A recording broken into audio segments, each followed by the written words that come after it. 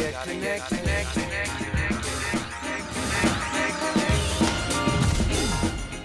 With computers getting so fast and powerful these days, it turns out that our hard drives are becoming a bottleneck in system performance. Thankfully, there's a new option for overcoming this problem. Solid state drives, or also known as SSDs or flash drives.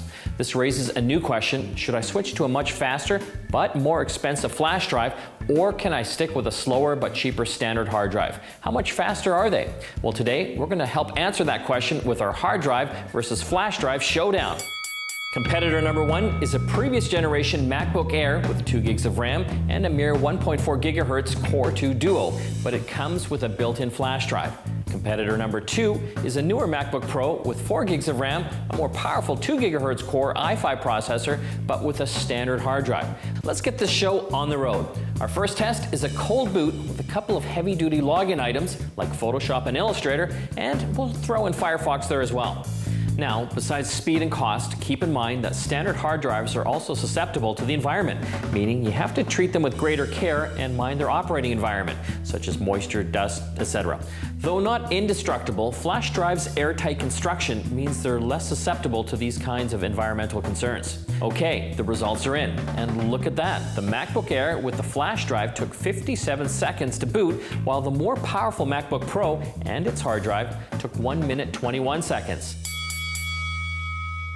Next up, duplication speed. Using identical files measuring just under 1 gig, we'll measure the time it takes for each drive to duplicate it. Wondering why flash drives are faster? Well, a traditional hard drive uses a magnetic head to read, write, and erase data to and from a set of spinning platters. Not only does this make hard drives more susceptible to damage, but their data can get fragmented over time, which can increase seek times and slow things down.